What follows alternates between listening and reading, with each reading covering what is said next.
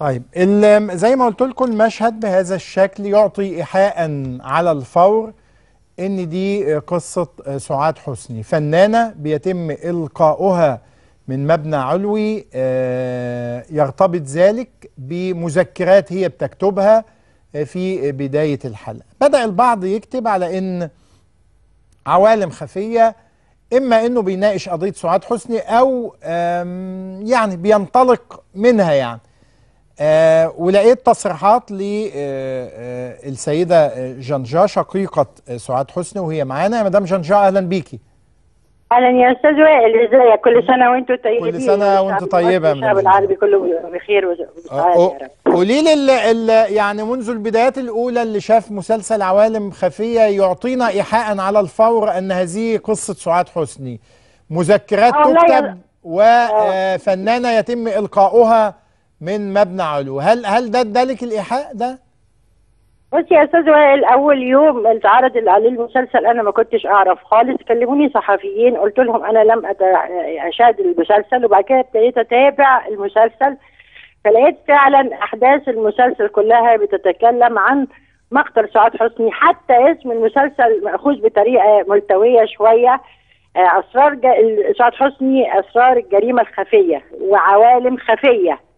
يعني في تقارب يعني وبعدين ابتديت أشوف آه اللي هو الكتاب اللي. انت عملتيه آه طبعا آه, آه. آه. طبعا واخد طبعا من الكتاب حاجات كتير ابتديت أتابع بس أنا ما عملتش تصريح مع حد خالص يا أستاذ وائل والكلام اللي اتكتب على السوشيال ميديا مش كلامي لأني أنا ما قلتش كده أنا قلت هشوف المسلسل آه وبناء عليه أنا هعمل الإجراءات وأشوف استشارة استشارة قانونية مع المحامي الأسرة والمحامي ال- ال- المسؤول عن الرعايه عن الكتاب والأحداث وال- طيب. والقضية نفسها خليكي معايا كده عشان آه، يعني آه، نشوف طبعا زي ما قلت لكم يا جماعة إنه آه، مسلسل عوالم خفية من واحد من أهم المسلسلات اللي بتشد المشاهدين هذا العام لأنها خلطة بتجمع ما بين صحفي بيحاول ال- فتح وكشف الفساد هتلاقوا حتى في وزير صحة فاسد وهتلاقوا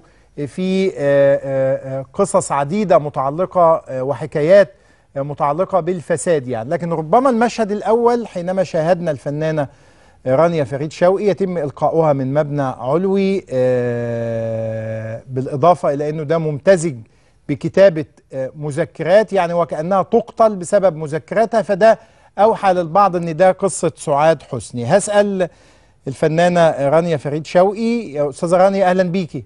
أهلا بحضرتك. كل سنة وأنت طيبة. كل سنة وحضرتك بألف خير.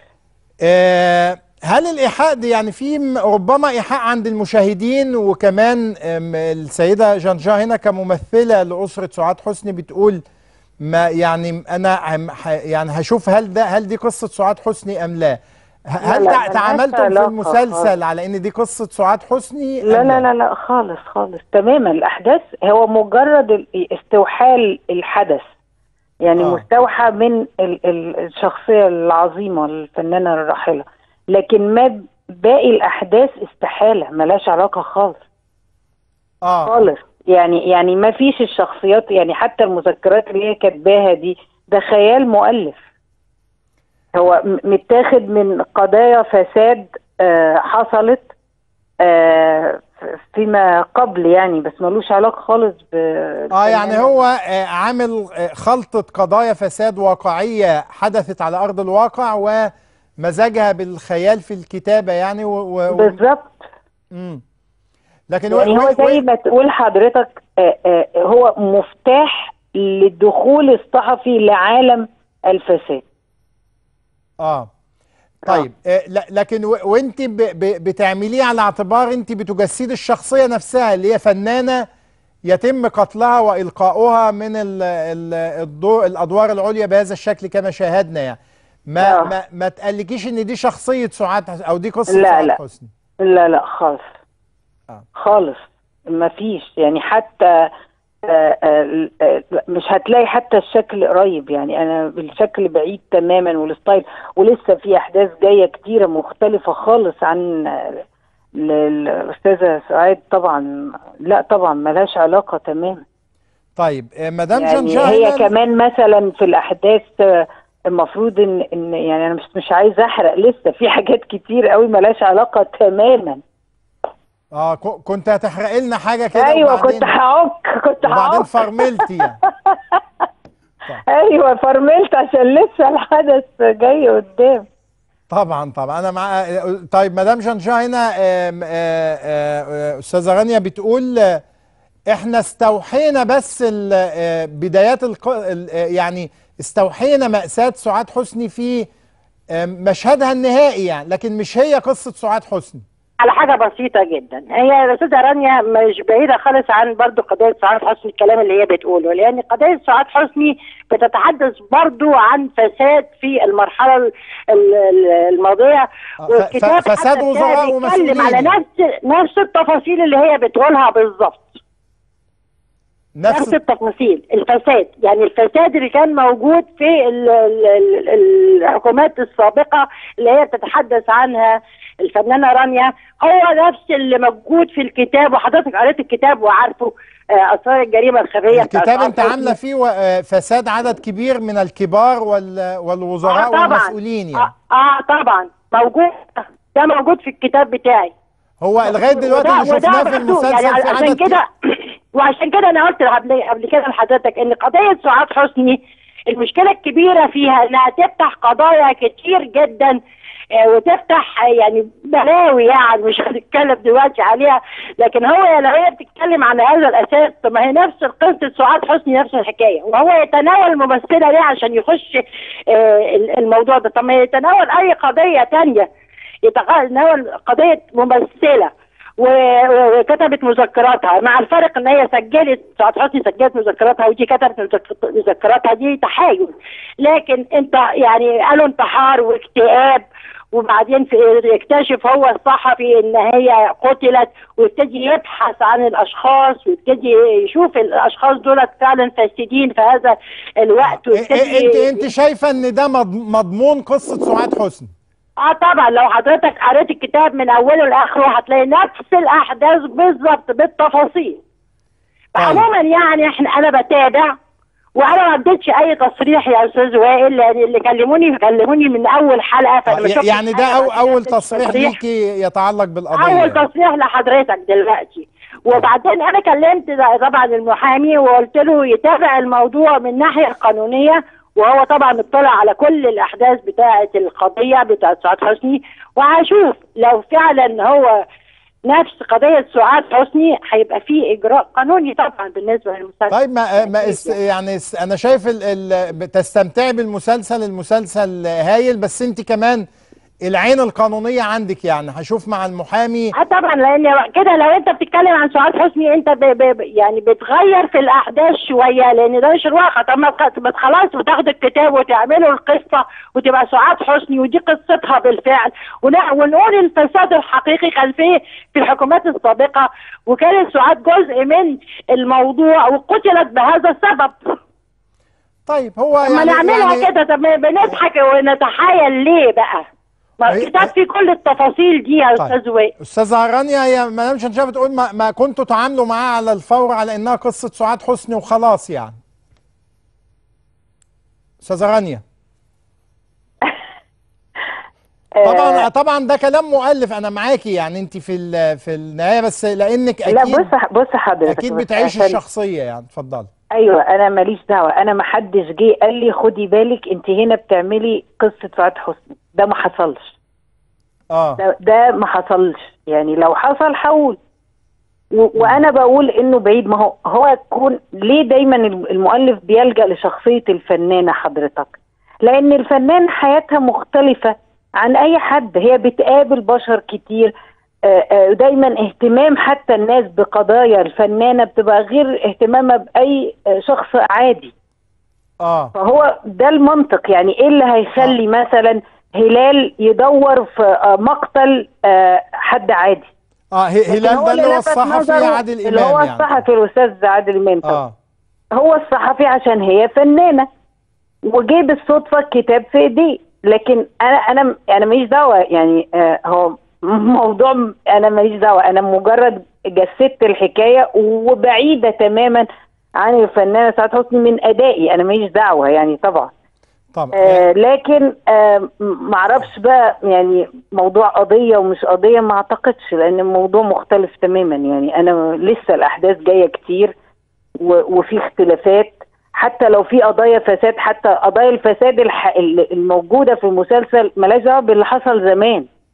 يعني يعني آه. أستاذة سعاد حسني لو هتتكلم هتتكلم عن السبعينات والثمانينات والتسعينات. لكن إحنا هنا بنتكلم في ال في, في ال يعني التسعينات والفينات آه آه. آه، في ال في ال في ال في السنوات اللي فاتت دي في في وقت حديث يعني. أيوه لأن هي توفت في 2010 اللي هي الشخصية مريم رياض. آه. طيب. ف يعني هي هي الفكرة كلها إن ده يعني است... شيء بس بتستوحي من ال- الحكاية لكن تفاصيل جوه ما فيش. يعني ما فيش ما فيش حد جه قال لي شايفة الصورة دي أنا عايزك تبقي شبهها. ما فيش الكلام ده خالص. آه يعني ولا ولا إن إنه آه، إنك إنك تعيشي مأساة سعاد حسني في أيامها الأخيرة يعني. لا لا لا طبعا. لا ما فيش. ما- يعني موضوع مش مش كده. وبعدين هي هي سعاد حسني في أيامها الأخيرة كانت الأضواء راحت بعيد عنها؟ لا طبعا بالعكس. كان في ناس بتتمنى إنها تشتغل وبتعرض عليها وهي اللي كانت بترفض. إحنا هنا الشخصية من بدايتها قلنا إن الأضواء هي اللي بعدت عنها. آه ف فبدأت تفضح الجميع يعني. يعني آه لا قالت قررت أكتب مذكراتي بتاع لكن موضوع أستاذ سعاد حسني لا أستاذ حسني لغاية ما توفت وهي مطلوبة جدا و وفي بيتعرض عليها أدوار كتيرة جدا وهي اللي انعزلت هي اللي رفضت طبعا. وانعزلت. و و وحتى الآن حتى بعد موتها لا تفقد سعاد حسني بريقها. ابدا يعني. طبعا. ده ما هي ليجند هي أسطورة لوحدها ولا مثيل لها ولا هيجي. طيب بشكرك أستاذة رانيا فريد شوقي ألف شكر. مدام جنجا عايزة تعلقي تعليق أخير على كلام آه رانيا اتفضلي. ممثلين على حاجة. أنا ده تحايل في السيناريو. علشان ما تبقاش في آه، طبعة واحدة دي أحداث مطابقة للأحداث لكن الأساس الموضوع الحدوتة من بدايتها بالظبط ممثلة وقال إنها كان عندها اكتئاب وانتحرت وبعدين يكتشف الصحفي ده أيا كان بقى الحدوتة هم بيكتبوها إزاي بس ده اسمه تحايل. آه، هو ويبتدي يكشف، آه، انها اتقتلت وإن في فساد وده حقيقي والقصة دي موجودة. كونها بقى في التسعينات كونها في الستينات كونها في الخمسينات لكن مش هو ده الموضوع. الموضوع إن قصة سعاد حسني فعلا كل الحاجات الأحداث اللي بي بي موجودة في هذا العمل بتقول إن دي آه، قضية سعاد حسني. بغض آه. النظر بقى على التسعينات والستينات والفساد في كل زمن. لكن ايا كان بس بيتناول قصة سعاد حسني. أنا ما بتكلم ما هو دلوقتي لو الفنانة رانيا عملت إنها سعاد حسني ولبست نفس لبسها أو شكلها أو غيرت في شكلها عشان تبقى زي سعاد حسني خلاص ما هتبقى رسمي بقى دي سعاد حسني. لا في حاجة اسمها تحايل دلوقتي عشان ما تبقاش القصة بتتناول سعاد حسني بره آه، موافقة اسره سعاد حسني على هذا العمل. أو حتى مثلا استشارتهم في الموضوع أو عرض الموضوع عليهم. آه، إن- أنا أنت- أي أنت حد عايزة أنا تقولي مفيش إنه اي كا- حد من صناع العمل كلموني. أنا اتفاجئت بالعمل ده يا أستاذ وائل. آه، عايزة تقول إنهم كان كان يجب أن يستأذنوا آه يستأذنوك ويست يعني على اعتبار يعني إنك تمثلي الأسرة الآن خاصة آه لكن قصه قصة فنانة ومعمولة في كتاب. هل تاخد انت بعض الأحداث منها وتتلاعب في بعض الحاجات علشان ما يبقاش في تطابق آه، مباشر وتقول إنها دي قصة عادية مش قصة هي هي هي رانيا قالت في البداية إحنا إحنا. بنتحايل كده على القانون وبنتحايل على الحقيقة. آه آه الحقيقة اللي موجودة في الأحداث بتاعت القضية لأن هي ما بس هي الدراما ممكن تنطلق آه، يا مدام جنجا من واقعة حقيقية و آه، يعني تبني عليها عملا لكن هو لا يتناول الواقعة الحقيقية نفسها بس بياخدها نقطة انطلاق يعني للعمل الفني. لا لا يا أستاذ وائل لا الكلام ده مش مش مظبوط لا يعني بعد إذن حضرتك. لا يعني في فنانة حصل ليها كل ال- الحاجات اللي مع- معروضة في المسلسل. حدثت للفنانه سعاد حسني مباشرة وموجودة ده في الكتاب. يعني أنا نزلت الكتاب عشان أقول التفاصيل آه. التفاصيل الق- القضية سعاد حسني وإيه اللي حصل بالظبط. وقضية سعاد حسني دي في النهاية تظهر فساد في زمن م- معين والفساد ده موجود. حتى لغايه التسعينات موجود. يعني ما خرجناش عن التسعينات على حسب كلام الفنانة رانيا. آه، انت. انت عدد كبير من الأسماء اللي انت ذكرتيها في كتابك كانت آه، عايشة معانا لغاية آه، قبل ولسه آه، ما زالت عايشة يا أستاذ وائل. لغاية 25 لا أنا بتكلم عايشة في السلطة يعني لغاية خ... آه، لغاية 2011 يعني. بالظبط كده بالظبط كده. آه. يبقى وما زالوا وما زالوا احياء؟ حتى الآن يعني. لا هي تحايل يا أستاذ وائل. بس دي قصة سعاد حسني بس المفروض إن هم طالما هيعملوا قصة فنانة كبيرة وهيتناولوها يبقى ما تقولوا دي قصة سعاد حسني وتعملوا الأحداث بتفاصيلها وتبقى دي قضية سعاد حسني بالظبط وتعرض في مسلسل قدام الناس كلها والناس تعرف حقيقة مقتل سعاد حسني بكل التفاصيل الحقيقية بس مش فيش يبقى تحايل وتغير في بعض الأحداث طيب يعني عموما أنت أنا. عموما يا أستاذ وائل أنا بتابع الموضوع وأنا كلمت المحامي بتاعي وهو بيتابع الموضوع. لو فعلا لقيت آه. إن هي بتتناول قصة سعاد حسني بتفاصيل التفاصيل اللي موجودة بس بعض ببعض التحايل هيبقى في إجراء قانوني طبعا على المسلسل. بشكرك على مدام- ألف شكر.